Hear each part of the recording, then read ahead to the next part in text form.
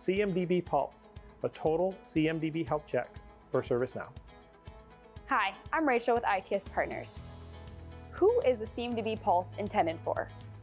It's designed for anyone who feels like their CMDB is hurting progress or holding them back.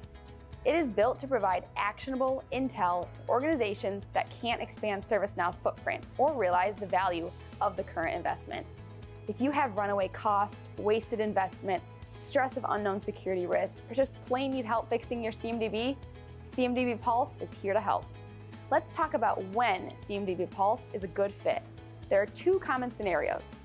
One, you're in a road mapping exercise for future ServiceNow expansion. In this situation, knowing the health and maturity of the CMDB is crucial for making decisions. A poorly understood or known bad CMDB can seriously damper planning. Two, you are about to start a new ServiceNow project. Knowing the pitfalls of your CMDB can help avoid unexpected project costs or outright failures, especially when implementing business aligned applications such as HR or asset management.